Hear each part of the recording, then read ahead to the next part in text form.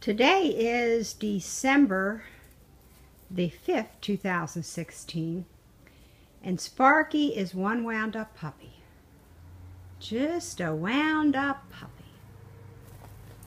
So here's what's going on in the greenhouse. Here's some rather straggly looking pepper plants that LP brought in from outside. And these cherry tomatoes they've just hung in there um, all summer. And they're still producing some tomatoes. And the greens they just keep keep on growing. And now the matador spinach is just taken over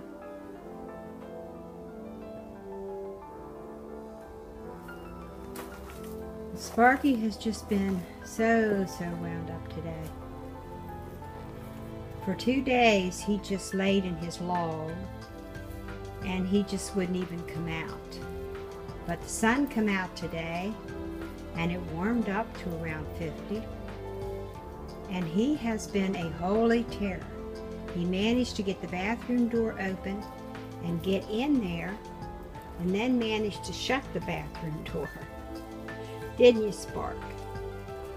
So he has been just, uh, I don't know how long he's been out, um, but he's been all over. Usually he'll settle down underneath the bed, but he didn't today.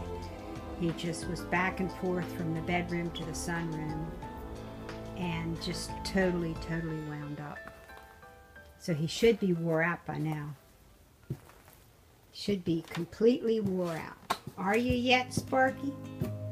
Figured I'd bring you over here on your turtle run. So here it is from this vantage point. And these tomatoes looks good, tomato plants that he brought in from outside. They look quite healthy for now. But he don't really have good luck with the tomato plants unless they're cherry tomatoes so far. So here is some volunteer flowers, wildflowers that he brought in from outside that are doing well.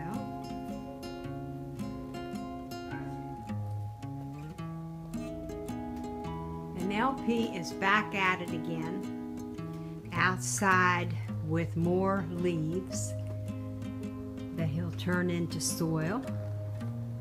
Look at all these seed pods.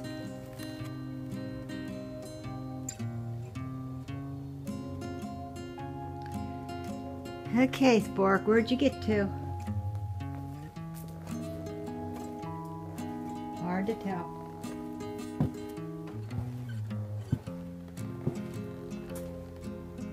I see you back there. Trying to find a little nook or cranny.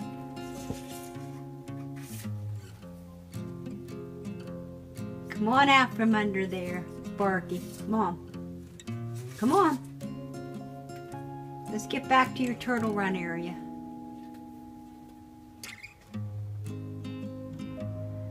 So LP has another pile of leaves that he's working on again right over there.